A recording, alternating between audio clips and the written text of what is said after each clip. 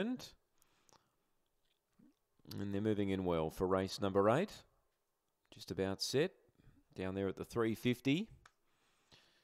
First time we've had those boxes used today. They're set to run. Racing. Dash Home began only fairly in the middle. Sevilla came out okay. There's speed in the middle from Aston Noah and deep out Namita. So Aston Noah and Namita go together. Pushing through there was uh, Sevilla. Deep out in the track, burn the box. Getting shuffled back. Dash Home from Aston Noah. And also Jack's Knight. But inside the last bit, Woodside Zulu breaks clear to win from Bad Lieutenant.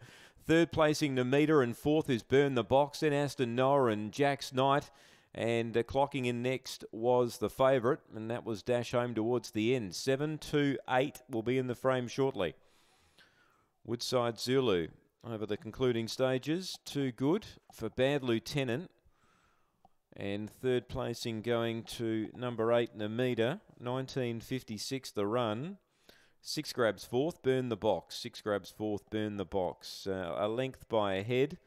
7.08 the early split. 13.23 the second sectional.